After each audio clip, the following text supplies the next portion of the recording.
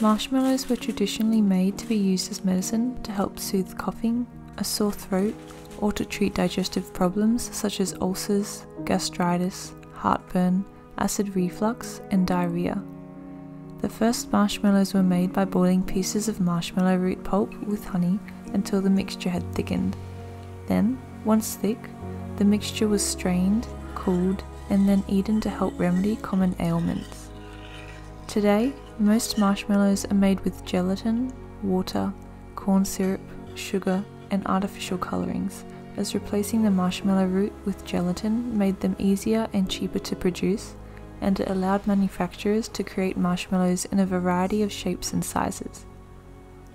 This recipe that I'll be sharing for herbal marshmallows still uses gelatin, but we'll also be adding the medicinal marshmallow root plant back in to put the marshmallow back in marshmallows. Marshmallow root can be used in teas, tinctures, salves, balms, syrups, and powders, and has a cooling and moistening effect on the body. It's also an anti inflammatory and is particularly useful for ailments that affect the respiratory system, the kidneys, bladder, mucous membranes of the body, gastrointestinal tract, and skin.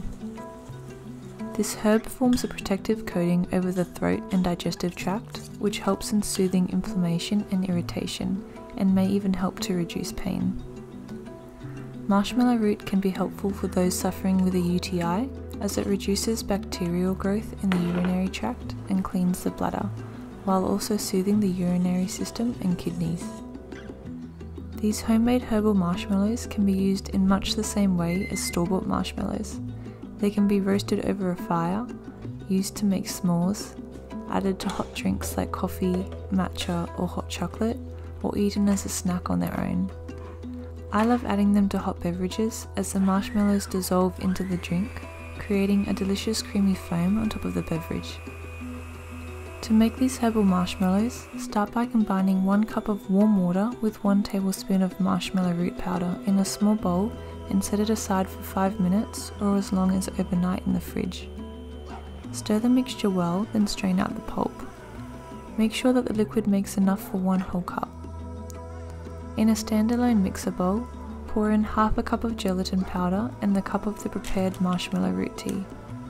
Whisk the mixture slightly with a hand whisk to incorporate, then, if using, add 1 teaspoon of colostrum powder into the bowl with the gelatin mixture and whisk again to combine.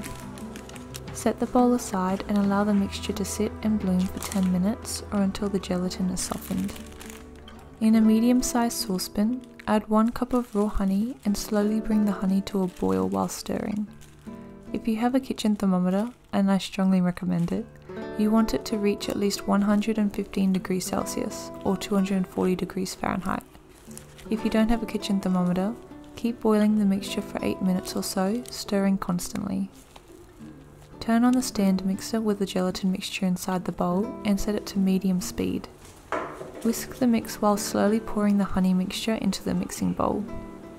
When the honey mix is added, set the mixer to high speed and whisk for another 10 to 15 minutes or until the mixture develops into a stiff cream, similar to the consistency of marshmallow cream. Cover the bowl to help avoid the mixture splashing out just make sure to check back every few minutes or so to see when the mixture starts to turn light and fluffy. Once fluffy, transfer the marshmallow mix into a greased pan or a pan lined with parchment paper, leaving some parchment on the sides to be able to pull up. Place the pan in the refrigerator to set for 1 to 2 hours before cutting them into the desired shapes and sizes. Store these marshmallows in an airtight container in the fridge for up to one week. Thank you so much for watching this tutorial on how to make these herbal marshmallows. I hope you enjoyed it.